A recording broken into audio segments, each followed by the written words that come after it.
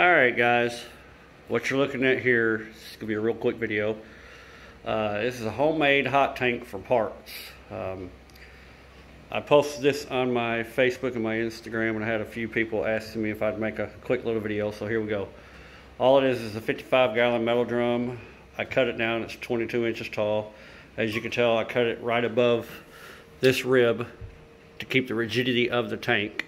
These ribs actually give these tanks uh, strength, so I kept the top one. That way, if I cut it below it, it probably would have kind of been a little soft. But anyhow, it's 22 inches tall.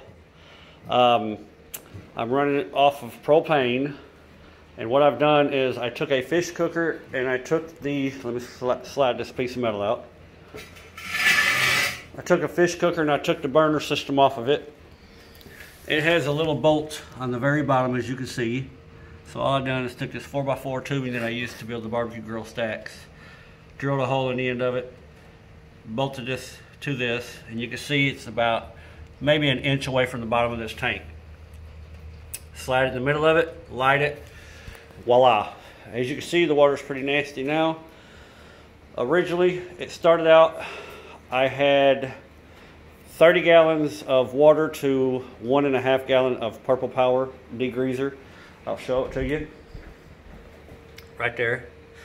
Um, I let it simmer in here. Uh, I brought the temperature up, threw parts in it, brought the temperature up uh, to about 212 degrees right whenever it got to a good rolling boil. Left the parts in there for about another hour after that and uh, shut the gas off, started pulling parts out. As I pulled them out, I would wash them off with a pressure washer and it worked out great. And before anybody says anything about ventilation, I've got a big shop door right there. I do have a vent fan right there. I will go ahead and work this for you. Just so you know, I keep this piece here for when I'm not using it so the wind does not try to flap that. But I turn it on with this control and as you can see, yeah. Anyhow, I don't want to hear the comments about, oh my God, you should have ventilation. Because I do have ventilation. Anyhow, not only do I have that shop door right here. I've also got a big 14 foot shop door here. I've also got my side door shop right there. Yes, my shop is a wreck because I use my shop. Anyhow, I'm gonna show you after I took the parts out, pressure washed them, I'm gonna show you how well they cleaned up. These are some of the bolts that I put in there. I use a wire wheel, clean the heads of them afterwards. These are your rocker trays that your rockers are gonna sit on for an LS motor. Uh, all I've done was pressure wash these, did not buff them, polish them or anything. As you can see, they turned out like they were brand new. That is a idler. As you can see, that thing turned out like it was new. Here's the water pump. This is this is your pulley that's on it. Um, when it's pressure washing, you see it blew some of the paint off. Uh, did not take no wire wheel to this. As you can see the back side of it. Back side looks even better than the front side in my opinion. It all looks brand new. And I don't want to hear anybody say anything about, oh my God, you put a water pump in a parts washer. I'm just experimenting on this part right here. I just wanted to check it out, see how well it would do. This is the first part that I done. I'm not going to reuse this water pump. I'm building a brand new motor. I'm not reusing a water pump. Uh, there's my timing gear. That is my um, cam plate, covers up my cam. That all turned out great. This is the pulley for your power steering pump. No, that is not paint, that is raw metal. I did take a wire wheel to this part because it looked like this. Raw metal. You can tell it's like a etched. You can tell the chemical kind of etched it a little bit but I was fine with that. Uh, I'll paint this right here and she looks just snazzy. This looks oily because it is. I put some oil on it to keep this windage tray to keep from flash rusting. We all know how nasty those things are. All I've done is pressure washed it after I took it out. There is your oil pickup tube. That thing turned out good. Didn't have to do any kind of cleaning on that. That's all pressure washed. The heads.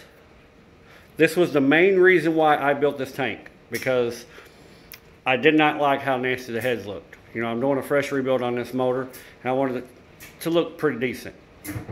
I'm not going to paint these heads. I want, I want, as far as right now, I'm not going to paint them.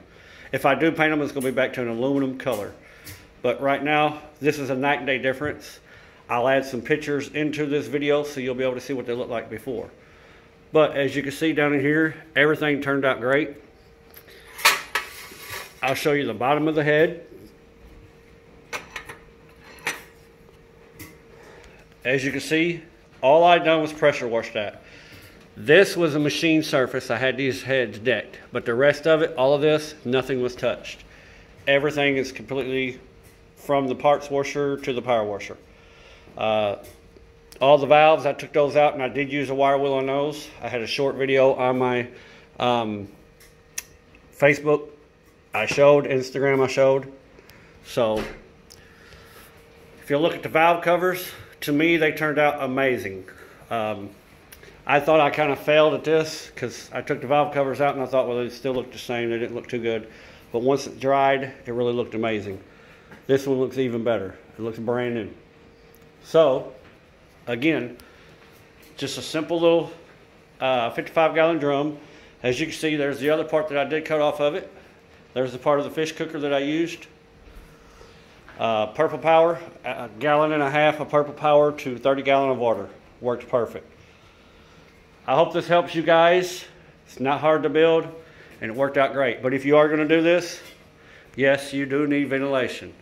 Uh, keep your lid on it and don't keep a lid on it to where it's to be real tight. Just something just to hold down on top um, because the steam is going to want to get out. So don't put no weights on top of your lid. You don't want to blow something up.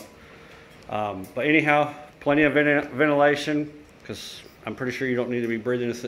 And I did this inside because where I live it right now, it's nothing but raining outside and the wind is blowing, so it wouldn't have worked out very well.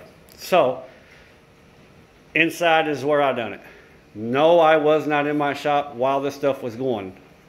I let it go, go kept my shop opened, and I'd come out here periodically and check and make sure everything was good and go right back in. Whenever I came back out and the water was boiling and I checked the temperature, that's when I said, okay, I can shut it all off. And then I stayed out here cleaning parts. Until next time, guys, God bless. Have a good one.